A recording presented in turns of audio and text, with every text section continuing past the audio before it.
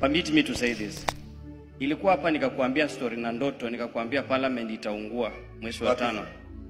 Ilikuambia niliota ya kwamba Rais William Ruto, Mungu anasema kwamba uende uombee State House, na usipoenda kuombea State House, either State House ama parliament itachomwa. Sijui kama unaweza remember hiyo ndoto, ukaniambia utaizungumzia. So juzi Okay. Okay.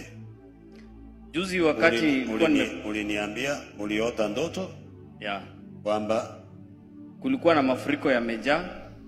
Eh, president wa nchi Dr. William Samoei Ruto amebaki peke yake, hao wenzake wote wamemtoroka. Alafu sauti ikatokea ikisema, Pastor Ezekiel, enda uombee State House, bure itaungua, kuta utachomeka. Eh, State House itachomeka, Ndivyo. So wakati niliona parliament nikashangaa sana. lakini mimi nilikuambia Uliniambia wakikuhitaji watakutafuta. eh, uh, wakinihitaji watanitafuta. Sasa jana pasta, before nikuje, nikaota tena hii injini, it's like kuna eh, moto mkubwa sana umezuka, alafu sauti ikatokea tena ikasema kwamba pase Ezekiel, pase Ezekiel, pase Ezekiel, nenda ukaombee rais. Alafu ukasema Mwenyezi Mungu anasema ningoje kidogo. Toka tulikuwa nasema hivyo, Mungu tena akakwambia hapana, nenda ukaombee State House. Alafu mwishowe kulikuwa na moto yote imeaka nchi mzima. Alafu baadaye wakati ulisema in Jesus name moto isimame, moto ikasimama, alafu watu wakakuwa na chakula mingi, alafu hatukuwa na rice.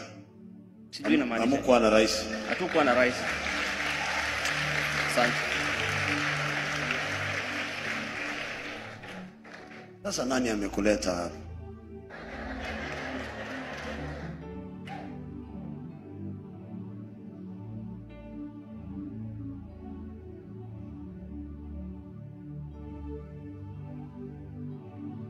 Wewe umeharibu ibada.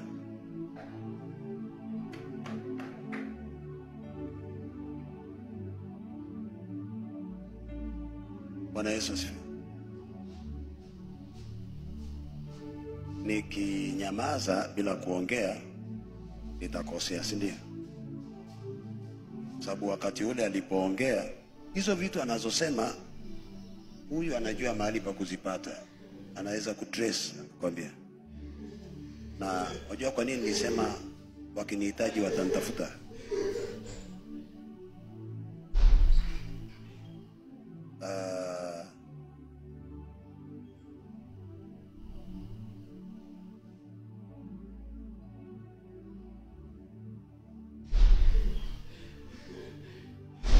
Sikufichi kwa neema ya Mungu hiyo ambayo amekuambia hiyo, mi hakuna kitu sijui, kwa hiyo ame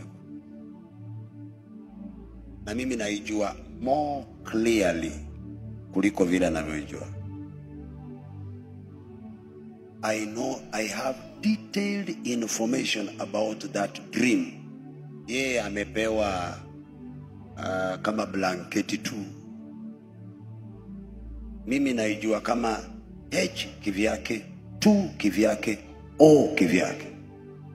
So H iwe tu na O kivyake, yani na naijua in details.